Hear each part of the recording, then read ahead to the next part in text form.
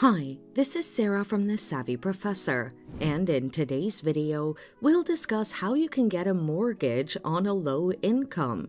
Watch the video until the end to learn this and more. Start by checking your credit score.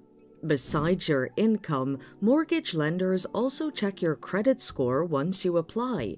They do this to assess your level of risk. If your income is low but you have a good credit rating, you may be approved for the mortgage.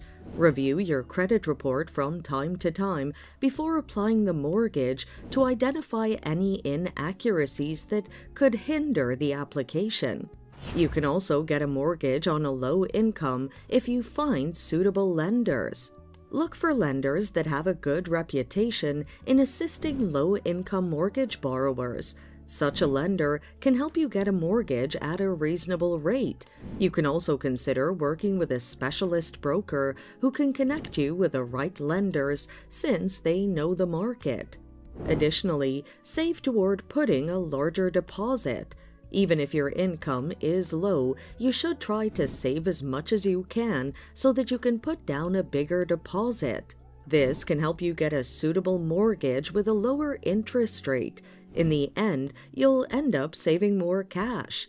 So, there you have it. Follow these methods to get a mortgage on a low income. Thanks for watching. Till next time.